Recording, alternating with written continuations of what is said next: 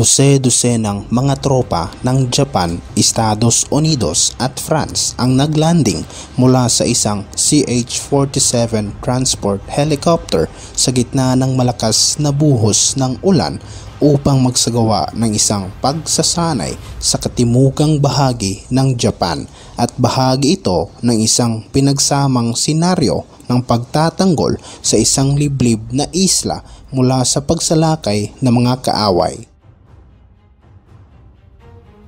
Ito ang kauna-unahang joint military drill ng tatlong bansa na ginawa sa Japan na tinawag na ARC-21 at sinimulan ito noong Martes at layo nitong palakasin ang ugnayan ng kanilang mga puwersa sa gitna ng pagiging asertibo ng China sa Indo-Pacific region ang mga sundalong Hapon kasama ang mga counterparts nito mula sa French Army at US Marine Corps ay nagsagawa ng isang urban warfare drill sa isang konkretong gusali sa Kirishima Training Area ng Japan Self-Defense Force na matatagpuan sa Miyazaki Prefecture. Humigit kumulang dalawang daang mga tropa ang lumahok sa nasabing pagsasana. Noong nakaraang araw, sumali naman ang mga tropa ng Australia sa tatlong mga bansa sa isang mas pinalawak na naval exercise kasama ang labing isang warships sa East China Sea sa gitna ng tumataas na tensyon sa pagitan ng China at Japan sa nasabing lugar.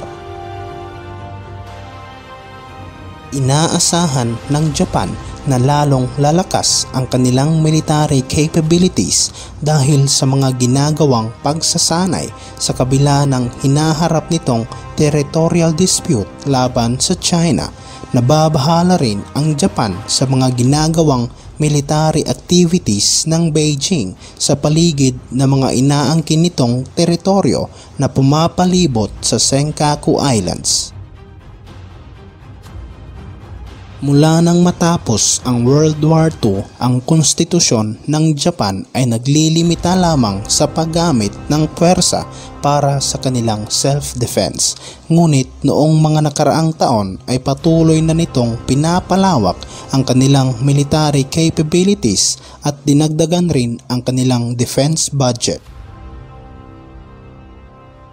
Samantala, ang Vice Defense Minister ng Japan na si Yasuhudi Nakayama na namuno sa nasabing pagsasanay ay binigyang diin ang kahalagahan ng partisipasyon ng French military sa mga ginagawang joint exercises na kung saan ay regular na sinasalihan lamang ng Estados Unidos at Australia. Sinabi ni Nakayama na it was a valuable opportunity for the Japanese Self-Defense Force to maintain and strengthen its strategic capability necessary to defend our remote islands. Together, we were able to show to the rest of the world our commitment in defending Japanese land, territorial seas, and airspace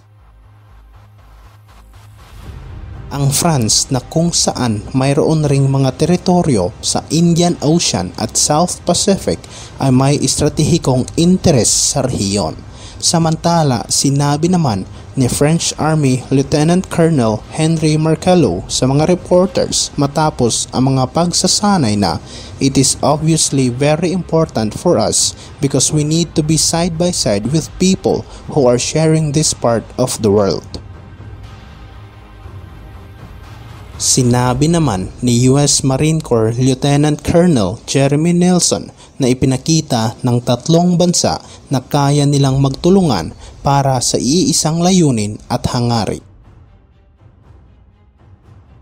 Samantala ang Britain na kung saan kamakailan lamang pinagtibay ang polisiya nito tungkol sa pagpapalalim ng pagkikipag-ugnayan sa rehiyon ay ipinadala ang HMS Queen Elizabeth Aircraft Carrier Strike Group na inaasahang darating ngayong taon habang nakatakda namang mag-deploy ang Germany ng isang frigate sa rehiyon.